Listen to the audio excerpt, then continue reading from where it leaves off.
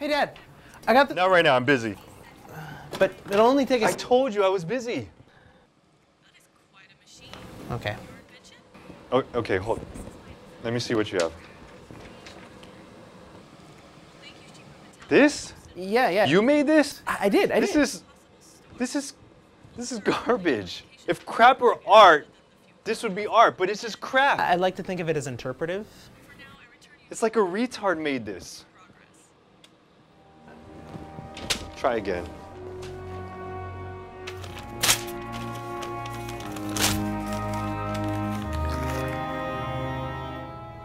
Five, four, three,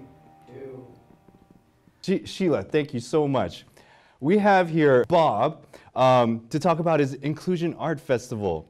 Bob, thank you so much for being here. Please tell us more. Well, thank you very much. Well, yeah, it's called the Inclusive Art Festival, and we're bringing together local artists from the community with an emphasis on adults with disabilities. Oh, that is so wonderful. You know, I volunteered to help disabled people. Oh, that's nice. Yeah, you know, I think they're so, so special and they, they really do need our help, don't they? Oh, absolutely. You know, I have a grandson who's actually getting quite a reputation for his work. Now, in fact, he also happens to be autistic. He's an artistic autistic. Uh, but it must be so hard for you. Well, no, actually, uh, it's great. Uh, I love his work. Well, that's what got me thinking about starting the festival in the first place. A bleeding heart. I like that. You know, everywhere I go, I, I carry headshots with me, and sometimes I give out so many, I, I run out. Listen, before you leave, I'm gonna give you a stack of headshots and make sure you pass them out at your festival. Make sure you get them to all the disabled kids. Well, that's it from us. Thank you, Bob, for being here. Back to you, Sheila. Bob, thank you so much for being here, and good luck with the artistic autistic. Look, I'm sorry, but his name is Leo. Now, please watch your language when it comes to adults with disabilities. It's offensive. Now, uh, who are you anyway? Who am I? Who are you? Listen, you know, he's artistic, he's autistic. I don't see why that's so offensive. And it's a bunch of mentally retarded people oh, putting on an art show. Who are you? You are about to find out. I'm going to be talking to Mark about you. My producer. Go ahead, go tell my mom while you're at it too. You realize that's the new owner of the station.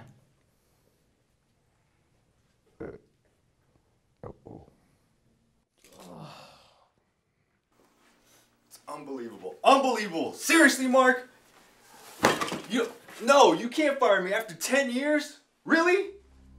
Come on. No. And you don't even call me in. I find out over Twitter. Are you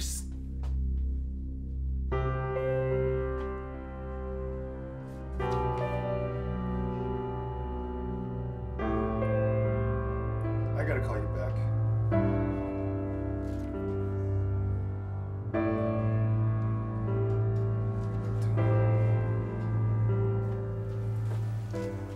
Becoming just like my father.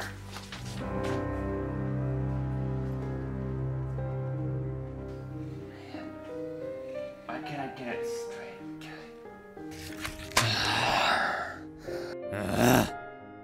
It's crooked. Can someone help me? I'll help. Watch this. Hey, Leo. Or should I say leakwad, like in high school? What's the problem? Oh no, no, I. What's the problem? I need any help from you? Sure you do. They gave you your own wall, huh? Yeah. Last year I won first prize, so they gave me this wall. But, but they need to be straight, not crooked. It's not professional. Do you like them? Like them. If crap were art, this would be it. But it's not. It's crap. Looks like some retard did it. Oh wait, a retard did do it. That's what I should call you, leaktard.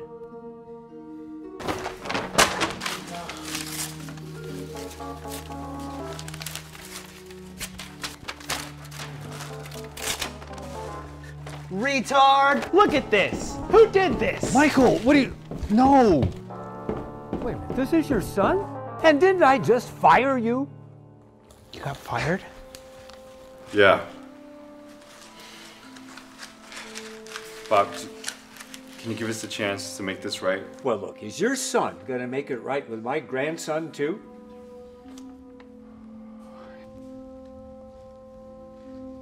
Yeah. Yeah, we'll make it right. Well, all right. One chance, JD. One chance. You make this right, and I just might give you your job back. I meant it, Michael. I, I blame myself. I'm I'm sorry. And I'm sorry too, Leo. I'm gonna try to be better if he's gonna try to be better, and if it means anything, I, I want to help make this right. Okay.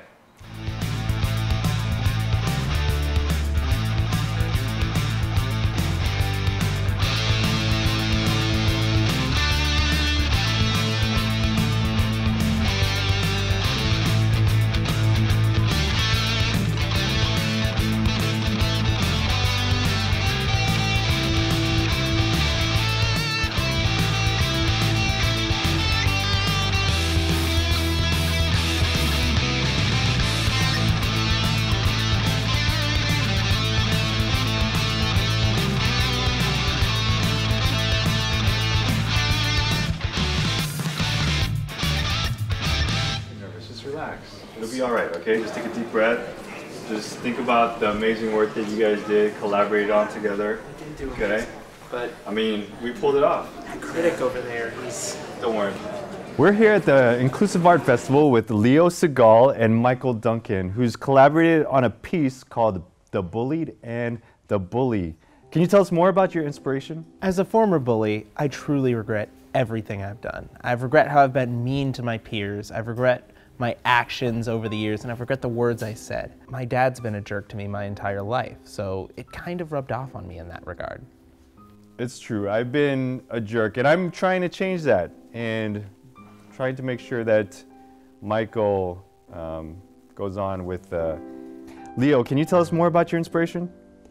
I was able to improve upon my original i- i- inspiration f- f- from what was tragic into an informative collaboration, uh, and thus I was able to subdue the conflict.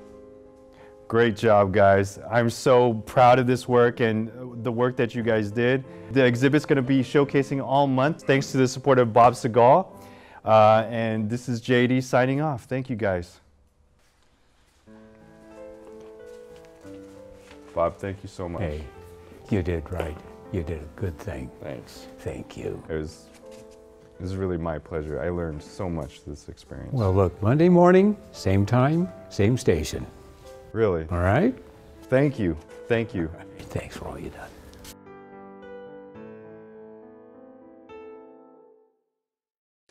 Red leather, yellow leather. Red leather, yellow leather. You know you need a unique- it's your big day. Oh, thank you. It is. Did you get those notes I talked about? Yeah, great job. I especially love the one about the catchphrase. Oh my gosh. Oh.